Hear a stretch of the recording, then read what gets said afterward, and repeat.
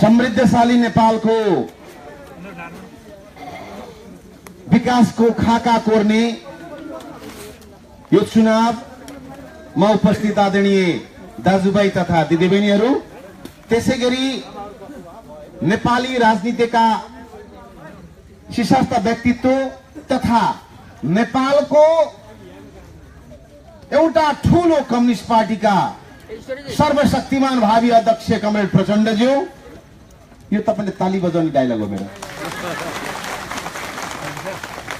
सबभन्दा राम्रो डायलगमै ताली बजाउनु भएन भने पछि के बजाउनु होला म त लाजै लाग्यो म धेरै बोल्न चाहन्न किनभने यस पछाडि थुप्रै हाम्रा कार्यक्रमहरू छन् यो चुनावी कार्यक्रम हो हाँस्ने काम त हामी भरै गरे गर्ला टिभीमा युट्युबमा जताततै पाइन्छ यसो अनुहार हाँस्ने तर मन हृदय हाँस्ने कहिले काहीँ मात्रै अवसर पाइन्छ आज म तपाईँको थोरै मन हँसाउने मनबाट जोक लिएर आएको छु। पहिलो हास्य व्यङ्ग्य त यही नै हो कि अब भन्ने सरकार अब बन्ने सरकारमा सुदूर पश्चिमको मान्छे सभामुख बनोस्। म त्यो सपना देख्छु किनभने नेपाल जोड्नुपर्छ अब भन्ने सरकारले। सुदूर पश्चिमको मान्छे सभामुख बनोस् सभामुख चलाओस् सुदूर पूर्वको मान्छेले प्रधानमन्त्री पाओस् तराईको मान्छेले रक्षा मन्त्री खाओस् चितवन जिल्लाले शक्तिशाली राष्ट्रपति पाओस्। तर एउटा शर्त छ है आज कार्यकारी भने हो। थपना त के काम छ? ओके। आज म लगभग पाँचवटा कार्यक्रममा सहभागी भएँ। अब मैले धेरै भोट माग्नु परेन। भोट त उही हँसिया हथौडा र ठाउँ अनुसार सूर्यलाई ड्याम ड्याम रहेछ तर धेरै युवाहरू यति क्रान्तिकारी निस्के कि दाइ भोट त हामी सिधै आँखा चिम्लेर हँसिया हथौडामा प्लिज भाइ यो दुस्साहस नगर्नुहोस्। आँखा चिम्लेर भोट हाल्यो भने कहाँ पुग्छ? आँखा खोलेर भोट हाल्नु पर्यो। नम्बर दुई आज एउटा मिठो मैले जोक सुनेको थिएँ फेसबुकमा। भोट कसरी हाल्ने? यो त सबै यो वामपन्थी हुनुहुन्न नि त ऊ पछाडि साइडमा काङ्ग्रेसका साथीहरू कता हालौँ कता हालौँ बस्नु भएको छ। उहाँहरूलाई पनि म अनुरोध गर्न चाहन्छु म त सबैको साझा कलाकार हुँ नि त। मलाई त काङ्ग्रेस पनि मनपर्छ सर। किनभने सात सालमा प्रजातन्त्र ल्याउने पनि काङ्ग्रेस पनि सहभागी छ। छ्यालिस सालको आन्दोलन बासठी त्रिसठीमा काङ्ग्रेस पनि छ। त्यसैले हामीले यो बेला मनन गर्नुपर्छ। पार्टी आफ्नो आफ्नो छ। मलाई पनि बेला बेला प्रजातन्त्रको प्रसङ्ग आउँदा म पनि काङ्ग्रेसै हुँ जस्तो लाग्छ।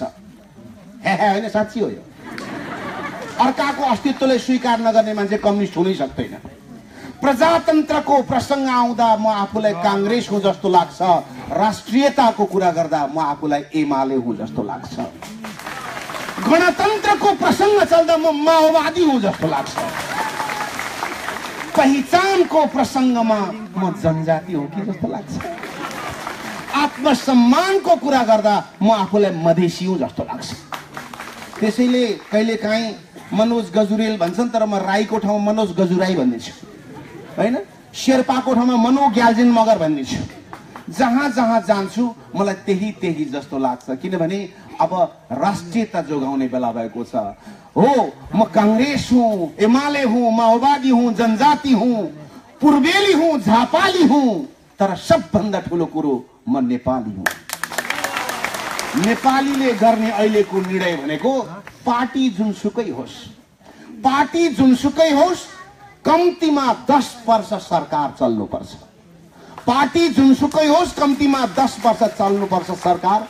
त्यसैले सरकार चलाउने नेतृत्व लिने र एक भएर अगाडि सके सबैको मन मिल्ने सबै एक हुन् नसके पनि मन मिल्ने मन मिल्नेहरू एक भएका छन्। र यिनैले बहुमत ल्याउने कन्फर्म छ देशको लागि आफ्नो भोट खेर नफालौँ।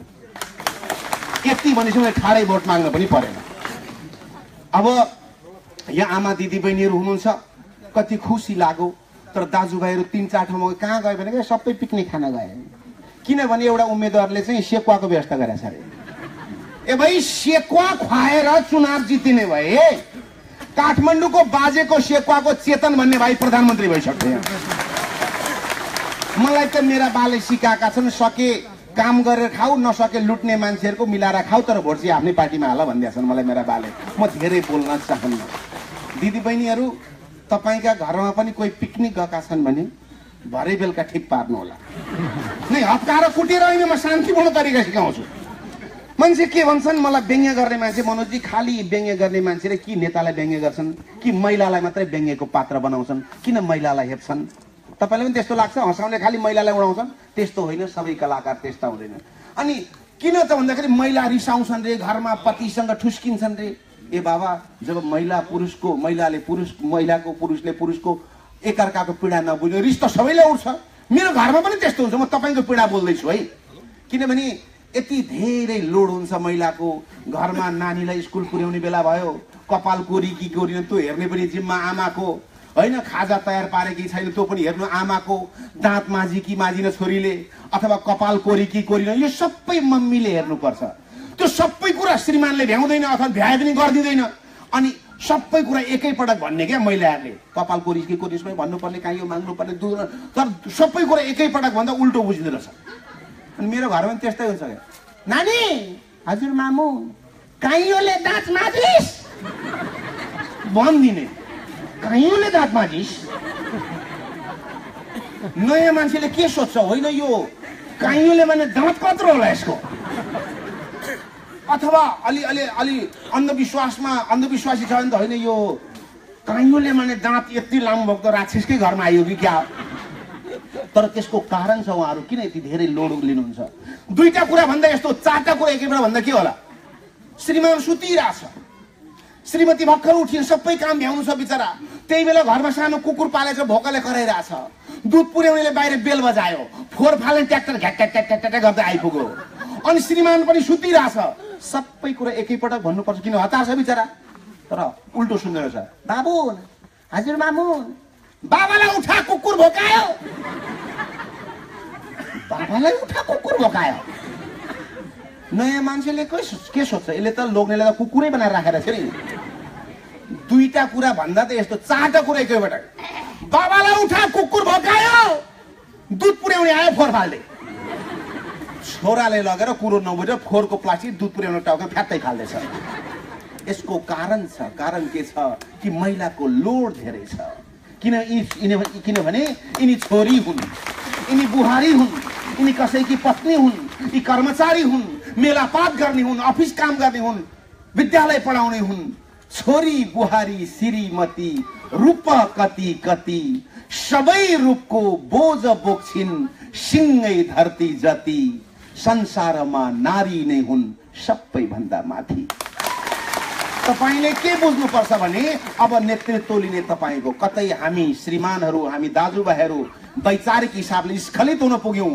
एक प्लेट सेकुवामा एउटा पिकनिकमा अल्झियौँ भने तपाईँले हामीले सुधार गर्नुपर्छ। किनभने अब नेतृत्व तपाईँको र तपाईँलाई यो नेतृत्वको क्षमतामा पुर्याउने रहेको नेपालका वामपन्थीहरू हुन् नेपालको प्रगतिशील आन्दोलन हो र त्यसको नेतृत्व प्रचण्डले गर्नुभएको छ। ठान्नुवाला यो त पुरै चाकडीमा उत्र्यो। एक पैसा लिनु पनि छैन दिनु पनि छैन तर कलाकारले सधैँभरि नेतालाई व्यङ्ग्य गर्ने मात्रै होइन परेको बेला सत्यको पक्षमा पनि उत्रिनुपर्छ भनेर हामी स्वतन्त्र कलाकारहरू पनि राष्ट्रका विशिष्ट नेता र बौद्धिक नेताहरूले जित्नुपर्छ भनेर हामी यसरी अभियानमा लागेका छौँ। म अग्रिम बधाई र शुभकामना दिन चाहन्छु अध्यक्ष प्रचण्डलाई। अब अरूलाई व्यङ्ग्य गरेर अरूलाई उडाएर भोट माग्ने जमाना गयो वा फलाना यो गर त्यो गर म भन्दिनँ। मैले सुनेको थिएँ मलाई योभन्दा पहिला चुनाव जित्ने के नाम पनि थाहा छैन मलाई। है? अक्रम कि विक्रम? योभन्दा पहिला। ए अच्छा अच्छा मैले सुनेको थिएँ योभन्दा पहिला। म त नाम लिन्न नि त। किन ग्राहक भड्किन्छ नि त बिचरा। मैले सुनेको थिएँ योभन्दा पहिला चुनाव जित्नेले माडी जाने बाटो चाहिँ एकदमै स्वर्ग जाने बाटो जस्तो बनाएको छ भन्ने सुनेको थिएँ। जब म हिजो पहिलोपटक माडी आइपुगेँ हजुर राति दस बजे दस बजे आइपुगेँ। उज्यालो थियो आइपुग्दा बत्ती बलेको थियो। मेरा तिनजना साथीहरू थिए एकजना सिपाही साथी सहयोगी हुनुहुन्छ। यसो हेर्छु सिपाही छैनन् गाडीबाट उत्रेर हेर्दाखेरि ओ भाइ ओ हल्ला सिपाही भाइ कता हुनुहुन्छ? भनेको माथिको कान लामो पुऱ्याएको छ। बुर्लो कोखेर हजुर सर म यहाँ छु। भन्दा अनि पो चिने त। किन मान्छे चिन्छ किन चिनेन भनेको यो बाटोको धुलोले पुरिएर बिचरा ऊ पनि धुलो बिठो भएछ म पनि धुलो बिठो उसले पनि मलाई नचिन्ने मैले पनि उसलाई नचिन्ने। स्वर्ग जाने बाटो यस्तो हुन्छ भने नर्क जाने बाटो कस्तो होला? अब जाँदा जाँदा दुईटा शब्द मैले भन्नै पर्छ तपाईँलाई यहाँ। मान्छे बुवा आमाहरू हुनुहुन्छ धार्मिक प्रवृत्तिको मान्छे हुनुहुन्छ तपाईँलाई धेरैले भ्रम दिन सक्छन् धर्मका नाममा। मस्जिद मन्दिर गुरुद्वारा चर्च बनाएर स्वर्ग पुर्याउँछु भन्लान्। या मेरो पार्टीलाई भोट दिएमा तपाईँको यो ठाउँलाई स्वर्ग बनाइदिन्छु भन्लान्। तर ध्यान दिनुहोला स्वर्ग लान पार्टीहरूले या कुनै मन्दिर मठ र चर्चले गर्दैन। स्वर्ग जाने पाटा जम्मा दुईटा मात्रै छन्। एउटा रियल पाटो अर्को चाहिँ गजु रियल पाटो। ओके? रियल पाटो चाहिँ मलाई पनि थाहा छैन मरेपछि मात्रै थाहा हुन्छ। गजुरियल पाटो म सुनाउँदैछु। ध्यान दिनु होला स्वर्ग जानका लागि। बा नहिँड्नु प्लिज बस्नु। उहाँ हिँड्नु हो स्वर्ग लान्छु भनेको मार्ने भयो क्या मोराले भने हिँड्दै हुनुहुन्छ। म पुर्याउँछु र लिएर यहीँ आउँछु छोटकरीमा म अब दुई मिनटमा सिद्ध्याउँछु यो कार्यक्रम। स्वर्ग जानको लागि रातको बाह्र बजे माडीको मेन सेन्टर बसन्तपुरमा एउटा गाडी आउँछ। गाडीमा लेखेको छ गाडी स्वर्ग जान्छ। म स्वर्ग जाने गाडीमा चढ्छु। चढेको पन्ध्र दिन पछाडि म स्वर्गमा पुग्छु। स्वर्ग भन्न साथ हामीलाई के सिकाएका छन्? असल मान्छे स्वर्ग पुग्छन्। धर्म गर्ने मान्छे स्वर्ग पुग्छन्। बा आमाको सम्मान गर्ने मान्छे स्वर्ग पुग्छन्। देशको विकास गर्ने मान्छे स्वर्ग पुग्छन्। भ्रष्टाचार नगर्ने मान्छे स्वर्ग पुग्छन्। इमान्दार मान्छे स्वर्ग पुग्छन्। यही भने छैन? हो? बोल्नु न हो भन्नु न। ओके। मिठो बोल्छन् स्वर्गमा। यही भने छैन देउता हुन्छन् गाना बजाना एकदम आनन्द हुन्छ। तर त्यस्तो के पनि पाउँदिन। यसो स्वर्गमा भित्र पस्छु ऊ पर ठुलो कराईमा तेल भक भक भक उमालिरहेछ। अर्को ठाउँमा चाहिँ त्यो लास पोलिरहेछ। अर्को ठाउँमा आराले मान्छे चिरिरहेछ। ओ माई गड यो त नर्कमा पो यस्तो हुन्छ भन्थे। सोध्छु एक्सक्युज मी बहिनी यो स्वर्ग हो कि नर्क हो? भनेको यति लामा दारा पाले कि एउटै बहिनी भन्ने कि दिदी है? अनि यो स्वर्गको थाहा पाइन्छ बाहिर बोर्ड छ मारिदिउँ तँलाई। भन्छ म मरेर पुगिरहेको छु स्वर्गमा दुई पटक मार्छु मारिदिउँ भन्छ। दुई पटक मर्न के म भ्रष्टाचारी हो र? होइन? यो जनता ठग्ने म ठेकदार हो र? दुई पटक मारिदिउँ भन्छ। ओ माई गड स्वर्ग हो भने त यहाँ राम्रा मान्छे सबै आउनु पर्यो। बुद्ध हुनुहुन्छ भन्छु। उसले भन्छ बुद्ध चिन्दैन। के भन्छ? बुद्ध। बुद्धको पहाड घर कहाँ? बुद्धको पहाड घर हुन्छ विश्वको शान्तिको दूत। मदन भण्डारी हुनुहुन्छ भनेको मदन भण्डारी? खै एउटा सदन भन्ने छ मदन सदन चिन्दैन। होइन कमरेड प्रचण्ड हुनुहुन्छ यहाँ भनेर सोध्छु। प्रचण्ड जस्तो राजनेता पनि स्वर्गमा छैनन्।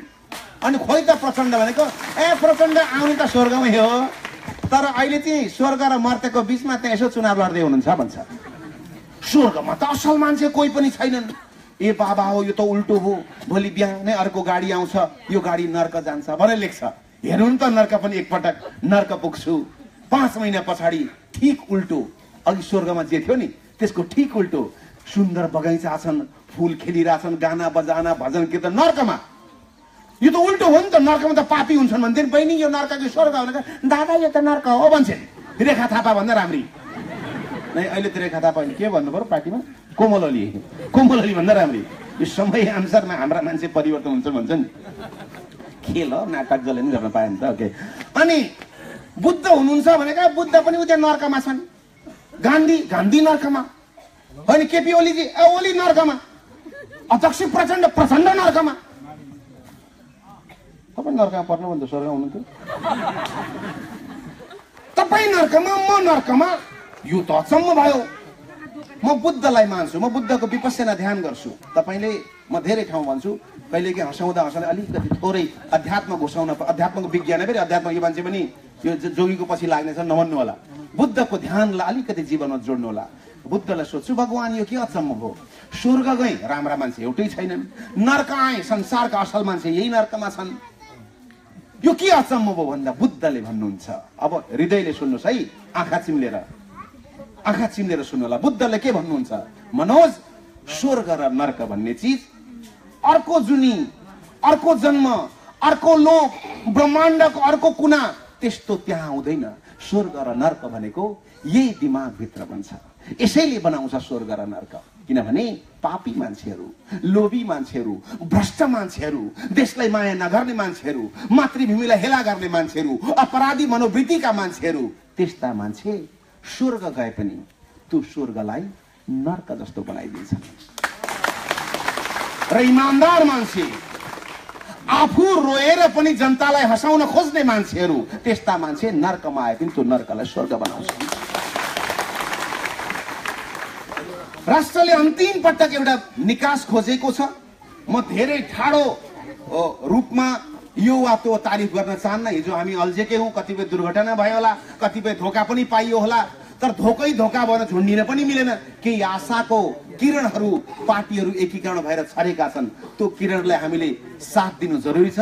त्यसैका लागि हामी देशभरिका विभिन्न पार्टीका सके मन मिल्ने पार्टीका नसके वामपन्थी गठबन्धनका राम्रा इमान्दार नेताहरू सबैले जित्नुपर्छ भनेर यो अभियानमा लागेका छौँ। हामी सबैले आफ्ना उम्मेद्वारहरूलाई एकदम आँखा चिम्लेर होइन आँखा खोलेर भोट हालौँ।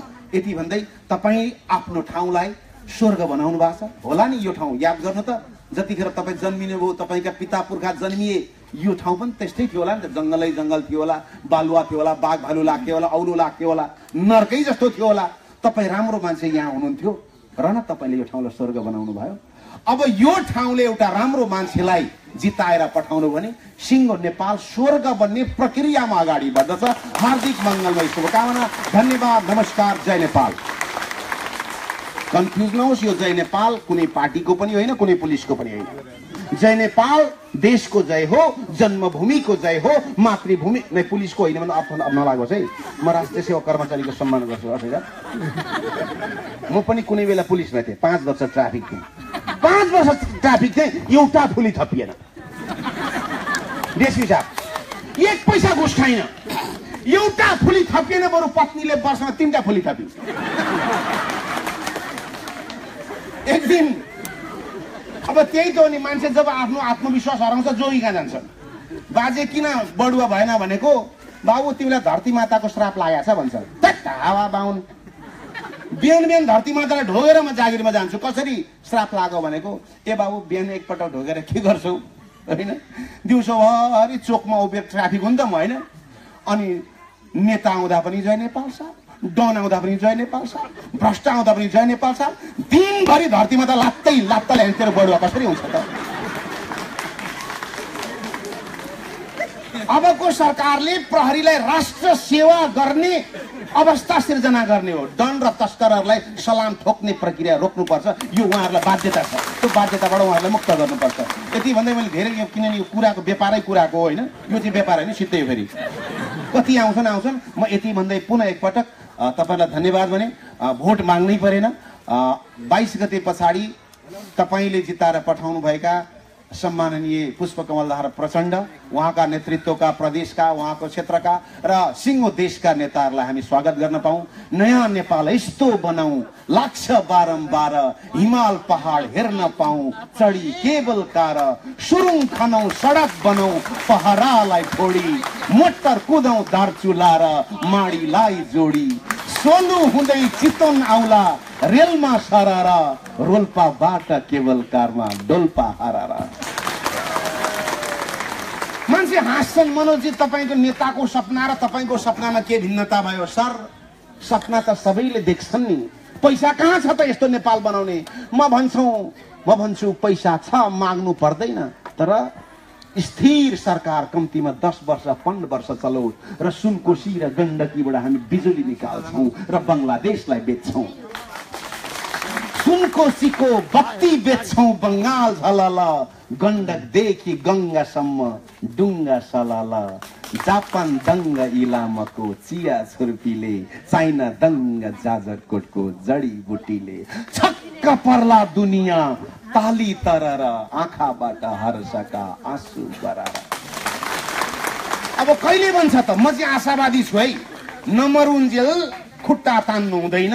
सम्भावनाका ढोका खुलेका छन् तर तपाईँले राम्रा मान्छे जिताएर पठाउनु पर्छ अनि अब म देख्छु मनोज दाई हाम्रो देश तपाईँका यी टावरदेखि आउँदाखेरि हरेक घरमा डिसेन्टेना छ हरेक घरमा मोटर बाइक छ तपाईँका हातमा मोबाइल छ बच्चाहरू बोर्डिङ पढेका छन्।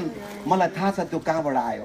त्यो तपाईँको घरबाट कसैको श्रीमान कसैको दाजु कसैको भाइ कसैको भतिज विदेशमा कुवेत र कतारका खाडीमा पसिना बगाइरहेका छन् जसको कारणले यो सुविधा सम्पन्न जीवन बाँच्नु भएको छ। उनको सम्मानमा पनि एउटा ताली बजाइदिनुहोस् प्लिज उनीहरूले मलाई सोधे अस्ति साउदीमा मनोज दाई हाम्रो नेपाल कहिले त्यस्तो बन्ला जुन दिन म मेरो आफ्नै आमाको हातको भात खाएर नजिकैको खेतमा काम गर्न पाऊँ आफ्ना छोराछोरी बिहान डोर्याउँदै स्कुल जाउँ र बेलुका काम सकेर फर्केर बच्चो लिएर घरमा आउँ कम्तीमा हप्तामा एकपटक पत्नीसँग अङ्गालोमा र माडी बजार घुम्न जाउँ नेपाल कहिले त्यस्तो बन्ला बन्छ त?